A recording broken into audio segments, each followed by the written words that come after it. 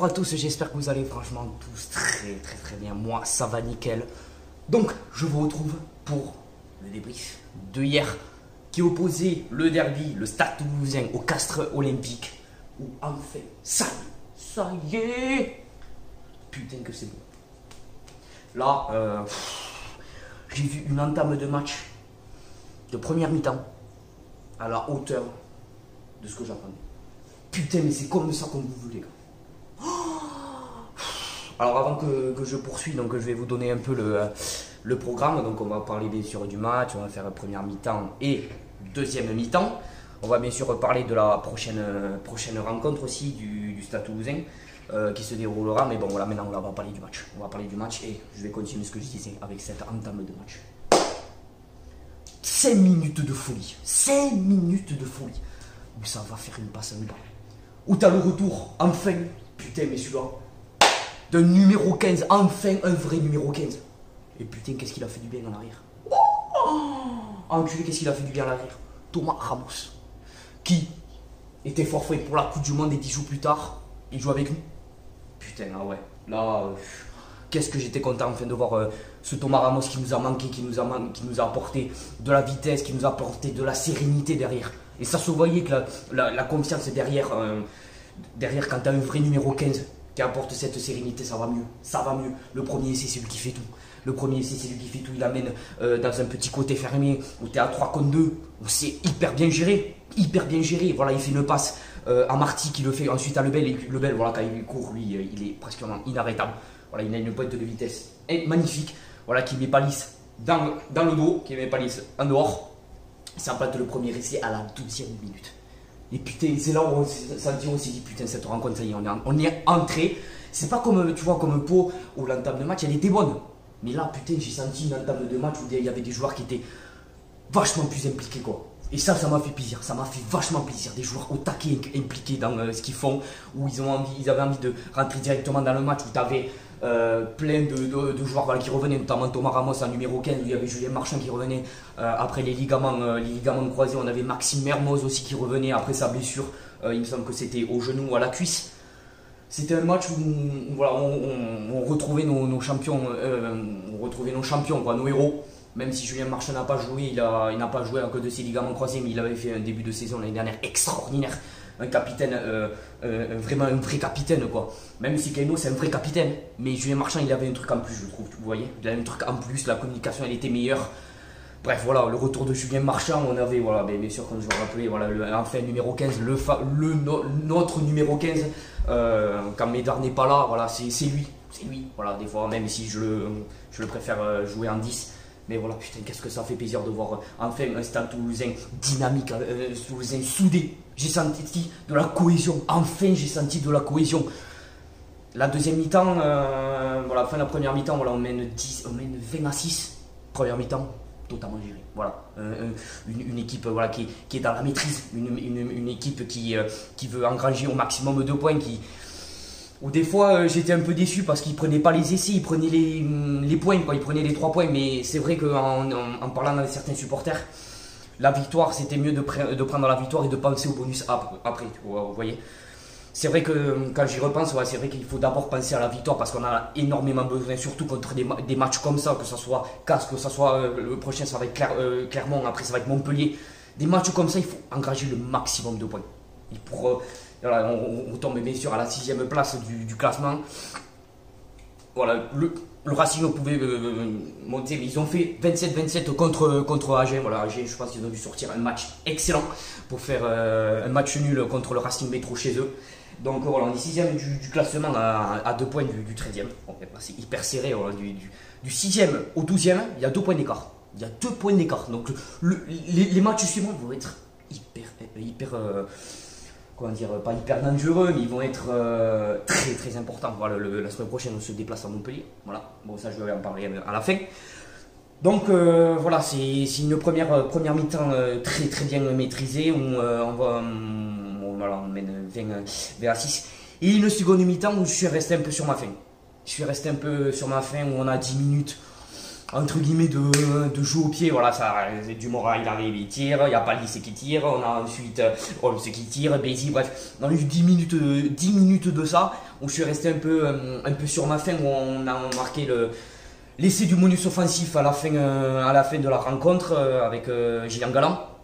Mais voilà, je suis un peu resté sur ma fin. C'était pas la, même. La, même, je vais pas dire la même envie parce que ce match, voilà, il m'a, j'ai vu, j'ai senti beaucoup plus d'envie des joueurs, beaucoup plus de motivation, beaucoup plus de, de, ouais, je veux dire d'envie.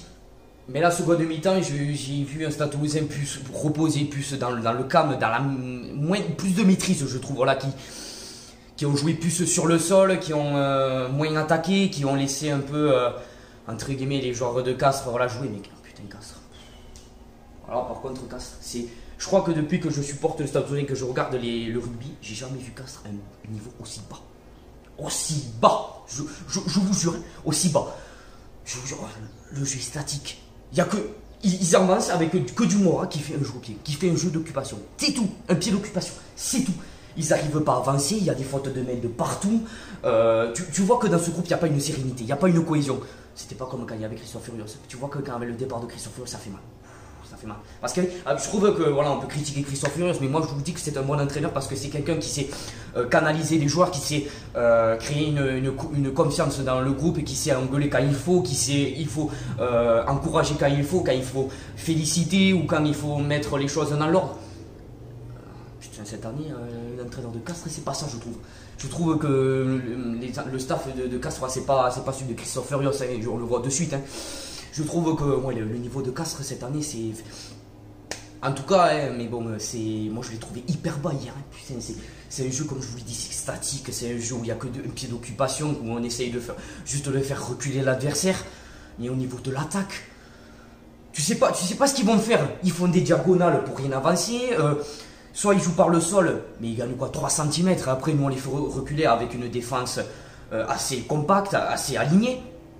Donc, euh, ouais, je suis un peu resté sur. Euh, j'ai été étonné de voir ce jeu de Castres aussi bas, aussi. aussi ouais, j'ai été un peu surpris du, jeu, du jeu de Castres. Je m'attendais pas à un jeu comme ça. Je m'attendais à un jeu, un match plus serré, un match où il y a un peu plus de, tension.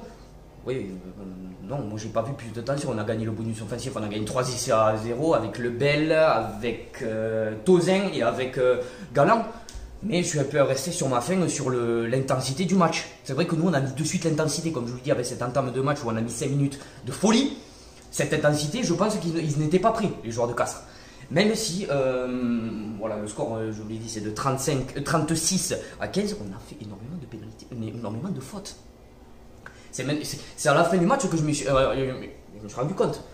Ils ont mis énormément de pénalités. Du Mourad à la fin de la première mi-temps où il n'a pas été euh, trop en réussite. Ou en seconde mi-temps, il a été meilleur quand même. Il a mis une pénalité de 50 mètres. Il a réussi à quand même à, retrouver son pied, à retrouver euh, les points.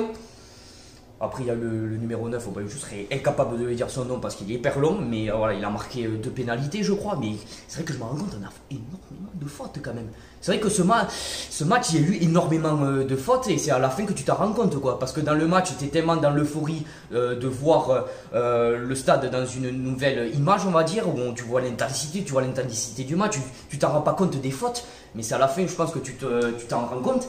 Et euh, je trouve que ouais, encore on a, on a beaucoup, on a encore à, travailler avec les voilà les, joueurs qui sont euh, revenus. Hein. On a encore à travailler avec Thomas Ramos, on a encore à, travailler avec Marchand. Je pense qu'il va pas jouer encore titulaire parce que il faut le refaire, refaire jouer, il faut le refaire fonctionner dans le groupe. Même si Guillaume Marchand, son frère, fait énormément le boulot. Voilà. Donc euh, il y, a, encore euh, un peu à travailler pour euh, s'imposer sur les prochains matchs. On, va, se déplace à Montpellier, on sait qu'à Montpellier ça va être dur, on sait qu'après avec Clermont ça va être compliqué, après on a la, Coupe d'Europe qui va commencer. Donc il faut, encore travailler, même si ce match donne beaucoup de motivation, donne beaucoup de plaisir à regarder quand même. J'ai été énormément surpris par la, nouvelle image de cette équipe. Franchement j'étais hyper surpris. Même si, euh, comme je vous dis, l'intensité euh, n'était pas forte parce que les joueurs de Castres ont joué euh, au plus bas niveau. Hein, voilà, donc, nous, on a fait notre match. On a le bonus offensif, on va pas se plaindre. On a le bonus offensif. On a, on a engagé 5 points au classement qui font énormément de bien. Ou ces points, ça compte à la fin. Donc voilà, on va pas se plaindre. Et donc voilà, on va arriver sur la fin. je vous disais le, prochain match à Montpellier. Au Montpellier, ils ont perdu, euh, ils ont perdu hier 28 à 24 contre, euh, contre Bayonne, où ils ont pris un carton rouge Montpellier, où ça a été un match assez intense, où il y a eu un, score très très serré, 28-24, hein, c'est un score très très serré. Donc je m'attends à un match voilà, énormément, euh, avec énormément de tension, avec énormément de, jeux, de percussions, où, où les joueurs de, de Montpellier vont pas nous laisser vont pas laisser le cadeau. Hein. Ça, c'est sûr et certain. Hein. Si eux, ils sont comme nous, hein, même s'ils sont plus haut classés, s'ils ont plus de victoires, s'ils ont, je pense, la cohésion, elle est meilleure que nous, la motivation, elle est, meilleure que nous parce qu'ils font un meilleur début de saison. Mais ils vont pas nous laisser euh, jouer. Ça, c'est sûr et certain. On va pas s'attendre à un match facile là-bas. Parce que, sachant euh, Garbajosa, il connaît le jeu toulousain. Il a joué pendant longtemps au stade. Donc, il connaît euh, le jeu du stade, même si, même si c'est pas l'équipe type. Il connaît quand même le, jeu de Moulin. Il connaît, voilà, il connaît son fonctionnement. Donc on va pas s'attendre à un match facile de la semaine prochaine.